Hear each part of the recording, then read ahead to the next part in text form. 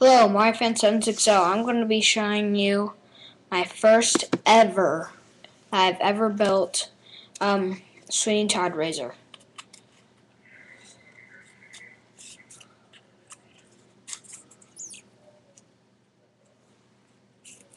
That's what I use to cut people's necks and stuff. So that's my razor.